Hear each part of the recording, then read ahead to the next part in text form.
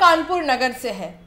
UP विधानसभा के तीसरे चरण के चुनाव के पहले भारतीय जनता पार्टी के कार्यकर्ता नवीन भाटिया ने आज प्रेस कॉन्फ्रेंस कर किदवई नगर विधानसभा से आम आदमी पार्टी के प्रत्याशी विवेक द्विवेदी के ऊपर आरोपी की झड़ी लगा दी। उन्होंने पत्रकारों को बताया कि करीब डेढ़ साल पहले आम आदमी पार्टी के नेता विवेक द्विवेदी, जो कि मौजूदा समय में आम आदमी पार्टी से किदवई नगर विधानसभा से विधायकी का चुनाव लड़ रहे हैं। उन्होंने अपने साथियों के साथ मिलकर नवीन और उनके पत्नी के साथ सरेआम मारपीट कर रंगदारी मांगी थी, जिस पर नवीन ने विवेक द्विवेदी और उनके साथियों के खिलाफ गंभीर धाराओं में मुकदमा दर्ज कराया था। लेकिन नौबस्ता पुलिस द्वारा आज तक कार्रवाई नहीं की गई। नवीन के अनुसार उन्होंने डीसीपी साउथ और तत्कालीन पुलिस कमिश्नर से भी न्याय की गुहार लगाई थी। लेकिन राजनीतिक रसूख के चलते कार्रवाई नहीं हुई बल्कि आरोपियों के हौसले इतने बुलंद है कि वो लगातार धमका रहे हैं। नवीन ने कहा कि अगर उनको या उनके परिवार के साथ कोई घटना घटित होती है तो उसके जिम्मेदार विवेक द्विवेदी और उनके गुर्गे होंगे। क्या घटना हुई है? मेरे साथ मेरा किदवई नगर के ब्लॉक थाना नवस्था के अंतर्गत जो है पैतृक संपत्ति थी जहाँ पर मैंने फ्लैट बनाए थे।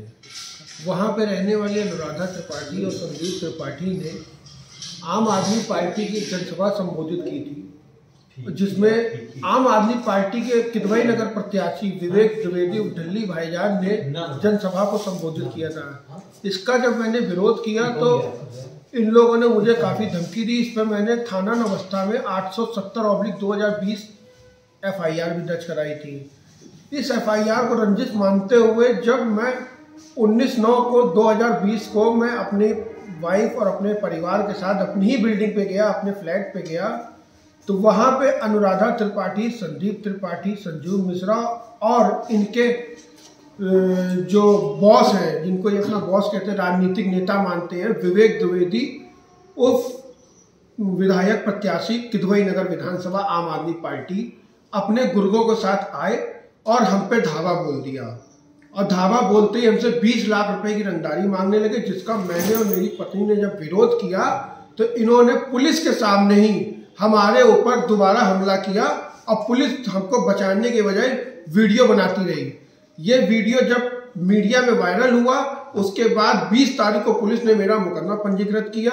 मुकदमा पंजीकृत करने के बाद मैंने कई बार पुलिस से संपर्क किया, लेकिन मेरी कोई सुनवाई नहीं हुई। मैंने कमिश्नर से मिला एसीपी से मिला डीसीपी से मिला, लेकिन न जाने नवस्था थाने पे इस विधायक, बाहुबली विधायक प्रत्याशी विवेक द्विवेदी का कौन सा ऐसा प्रभाव है, कौन सा ऐसा दबाव है, जिस जिसपे पुलिस इनके ऊपर कार्रवाई करने में असमर्थ है। मैं बार बार नवस्था पुलिस से गुहार लगाता हूँ, तीन आईओ बदल गए, दो एसओ बदल गए, उसके बाद भी कोई कार्रवाई नहीं होती है। सातवें महीने में दिवाली के आसपास मैं रवीना त्यागी मैडम से भी मिला था। उन्होंने भी मुझे कार्रवाई का आश्वासन दिया। और बोला भी, लेकिन उसके बाद भी आज तक कार्रवाई नहीं हुई लगातार मुझे धमकी मिल रही है, जान से मारने की धमकी मिल रही है। अगर अपनी बिल्डिंग पे तुम आ गए तो तुम्हें मार के यहीं पे गाड़ दिया जाएगा। मैं आम आदमी पार्टी का प्रत्याशी विधायक हूँ।